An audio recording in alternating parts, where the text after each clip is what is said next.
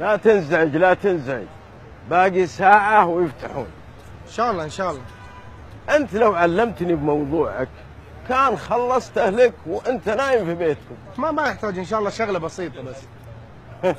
شكلك ما عرفتني. لا والله للأسف ما اعرف أنا كانوا يسموني سويلم الطلقة أسرع معقب في السعودية. كل معاملات الناس تخلص من تحت يدي بسرعة. مروق. أمشي الأمور وأخلص العالم بالنفس الطيبة وراحة البال. تليفوني ما كان يوقف بطلبات الناس. صدقني اليوم تخلص. يوم واحد. اليوم تخلص.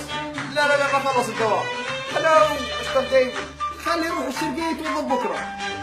كلمة لا ما زالت في قاموسي وما تسمع مني إلا سم طال عمرك اسمي سبقني في كل حارة وكل بيت وبين الصغير والكبير. أيام حتى سمعتي وصلت للتلفزيون وأنا فوق رددت واحترت في معاملاتك ولا لقيت اللي يخلص. كنت قريب من الناس.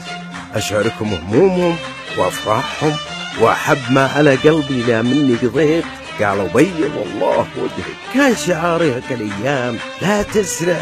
تسويل مسرح. بس الأمور اختلفت. الحين أنا أسوي أموري كلها على الجوال وعلى النت وبسرعه وأنا متكي وبشرب قهوة. كذا ما لا شيء.